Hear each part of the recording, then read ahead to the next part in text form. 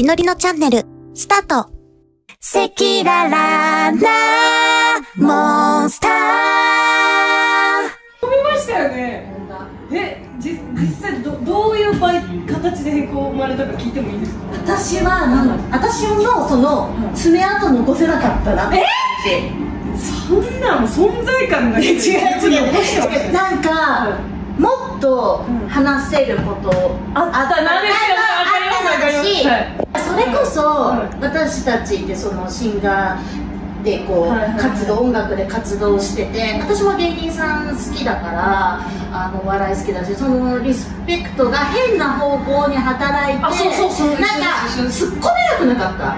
えツッコミなんていうの？その話してるところにさかわいたちさんが話してる。であのゲストの方はさもう何回も共演しててさ、えっとここィスカッションしててここがなんかあんまりはいなんていうの入れない瞬間。あもっとガンガンいけばよかったなみたいな。確かに確かに。のを結構思って、うんうんうん確かに。いやあつまらずの爪痕残せない。それもそうなんですけどかまいたちさんってすげえってなったんですよ本当に。あの日、うん。あの収録あったじゃないですか、そこで。帰り道芸人さんってすげえってなんか一人で泣きながらスーツケース引きずって帰りました。私はまた芸人さんに救われてしまったって。いやあれだけ自分がこう自分の不甲斐なさを、うん。あれだけ面白くしてくださったかまいたちさんがすごいってなった。すごいんですよね芸人さんって。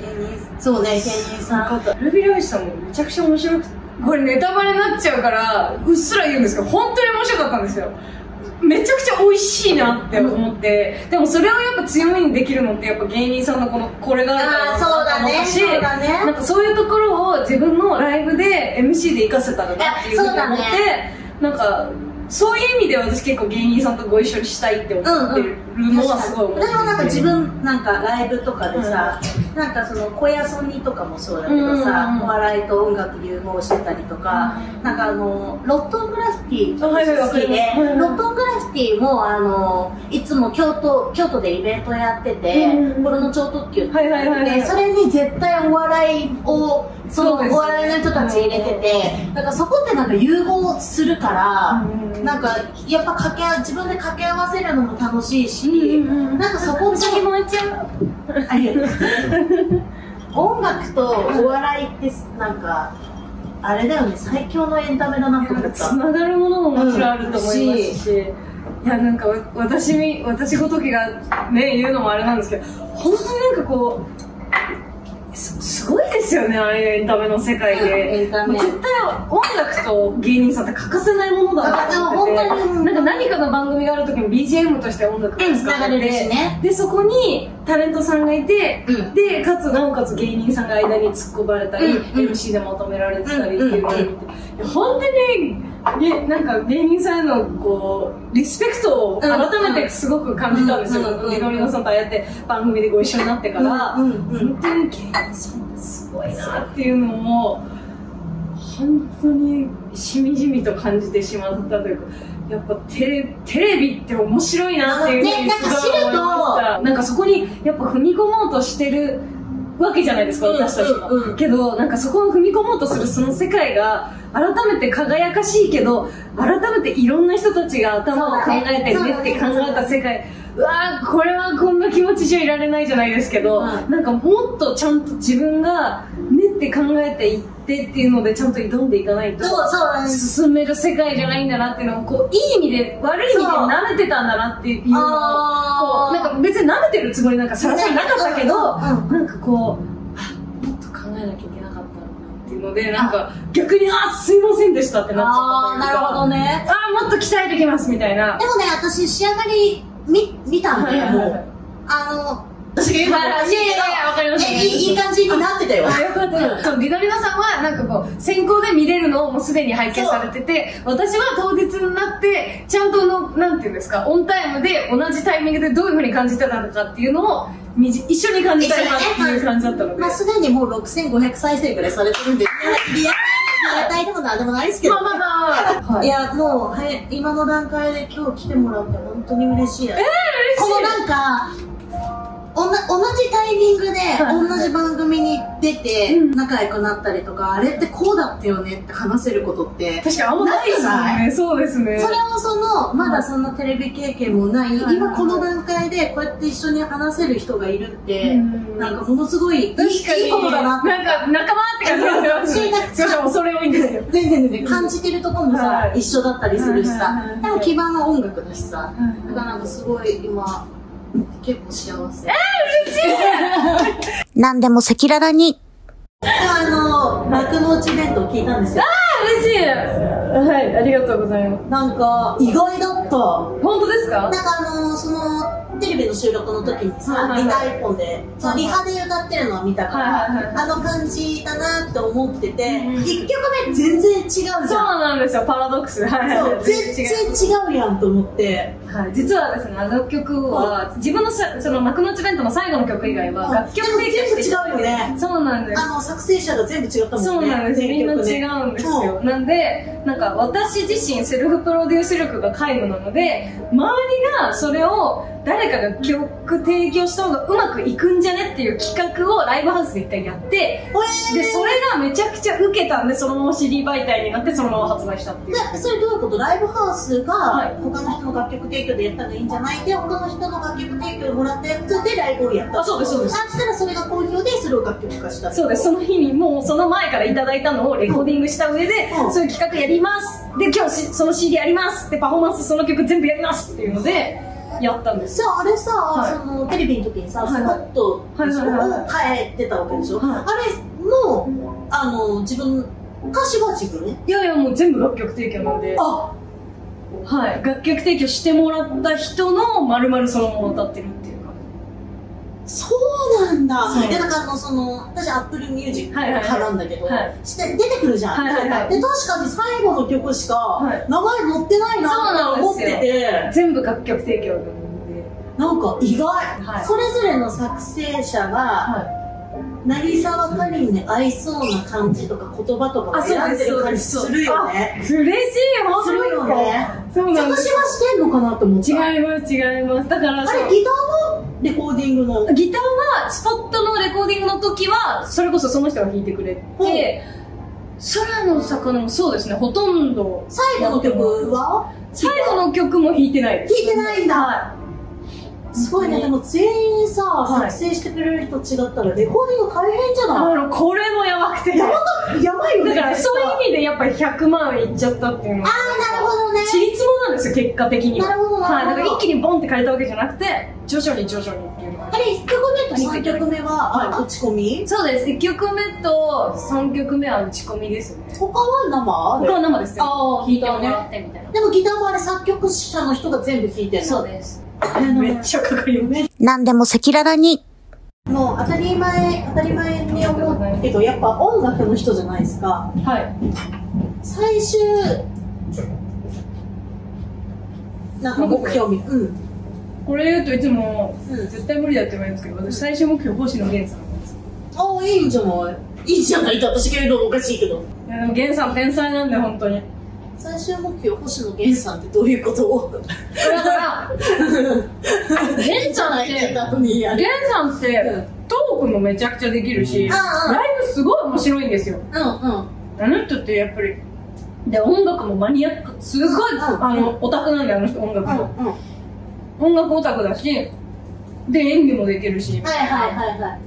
最終的にたどり着いたらいいなと思うのは星野源なんか私今ミス IT のやつ見てて最後 M ステ出て最後桃江ちゃんみたいにして終わりたいですって書いてそうだからあそこ星野源さんにたどり着いたら幸せになりますって言ってやめるんですよ結婚願望とかあるのえあんまないああじゃあそこじゃないんだねその自分の一番いい引き際で辞めたいってこそうですねとうんうんうん絶妙なタイミングでやめやめたい。普通になんか先生英語の先生とかやりたいです最終的に。えでもわかんない音楽やってるかもしれないです。一コロコロ変わっちゃうんで。ー、ね。ねそうだよね。3年間語学留学してるってことはしゃべ普通に喋れるってことなんだよね。まあまあまあでもそれは音楽で食べ続けられるね。人生だったらありがたいですけど。うん。でもまあ絶対無理って言われる覚えないじゃんそもそもってのは思うよね。いやでもめっちゃ言われましたよ。なんかえじゃあ音楽制作チームと演劇制作チームがいるって言って、もし舞台やってとかそれ音楽やってる間俺らそのもしね音楽スタッフが動けない状態でどうで責任取れるのみたいな言い方されてあそっか一人の責任じゃないんだなって思いました。あまあねでもその活動をや私は最終絶対東京ドームって言ってるんだけどあーすごい。最後そのそうやってさいろんな人をさ巻き込んでやっていくってことはさそんだけ時間がかかることだしさはその分スタッフのこともみんな抑えちゃうからじゃあそのスタッフ全員食べさせていけるのってことだと思うあそうですけどそれをね別にやる別にっていうかその仲間じゃん仲間でずっと一緒にやってって大きくなってってそれはみんなのこといつか食べさせたいから私専属になってよとはみんなに対しては思ってるいけど。もスタッフさん雇われてる時点ですごいなって思います。だってねチームなわけじゃないですか、うん。スタッフもスタッフさんも。まあでもねバンそれをバンドでやってるってことだからもっとでもこのバイタリティで、ね、こういうことやりたいんです。よ多分絶対言ってると思うから。現場にも全然マネージャーというかね制作の人が一緒に来るみたいなパターンももう全然ありそうだけど。いやーねいたらいいんですけどね、何でも赤裸々に。で最後の質問なんですけど、はいミサ ID のやつ読んで、なんか今日の人となりとかさ、はい。あの収録の人見知りなところとかいろいろいろいろいろいろ見て、今日に至って近渚ばかりんの世界は生きやすいんですか？うん。なんかミサ ID のあのなんか書いてるやつとかいろいろうん。読ませてもらって、はいはい。なんかいじめられてたとか、あそうですね。いろいろその今もそうだし、うん。呪いかけられてたみたいな、それ自信なかったってさっきも言ってたけど、はいまあそこでいろんなことを乗り越えて、今もうとにかく活動しててさ、でテレビの話とかもあって、うんそんな今年の幕開けで、はい。まあね、なんかせ日々進化していくじゃん。はいはいはいは時は流れていくし、さあカリンとして生きやすいのかな？生きやすくなったのかな？ってなんか。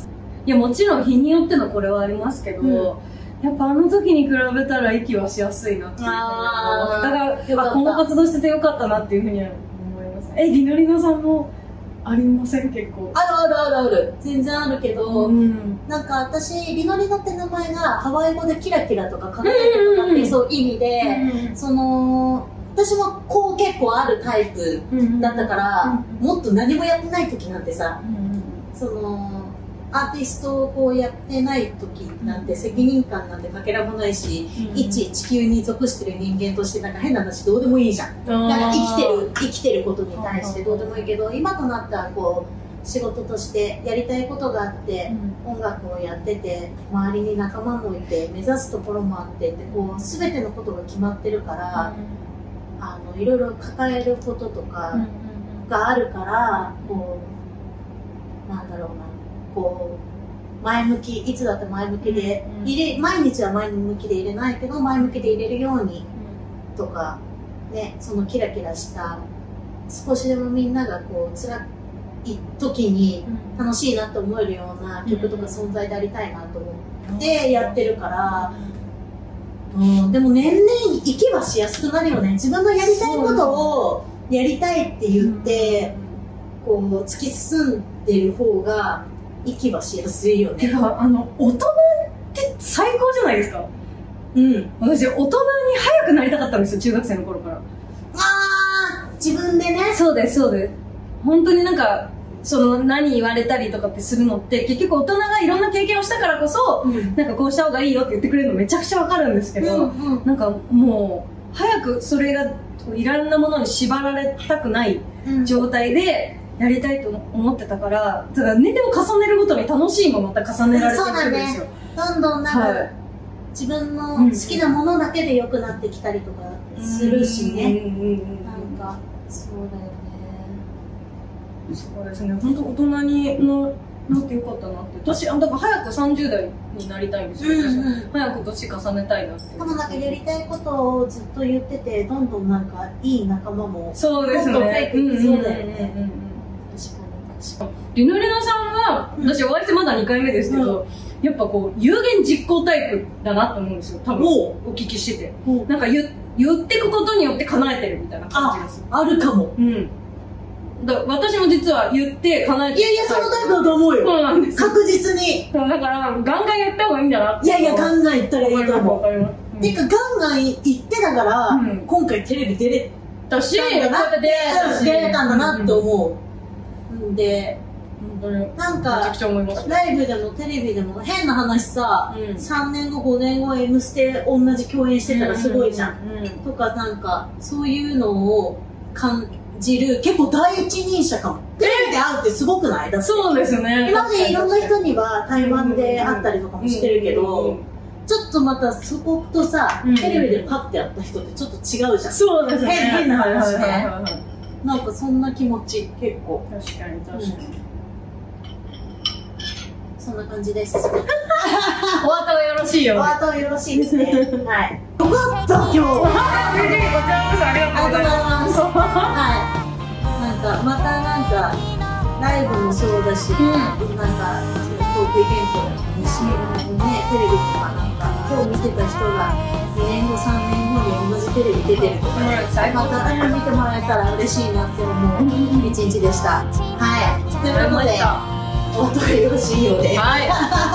今日はここまでということで本日のゲストはシンガーソングライターヤンキーギャル編週末のショーヒロイン投げのお兄さんでしたありがとうございますありがとうございます登録よろしくね。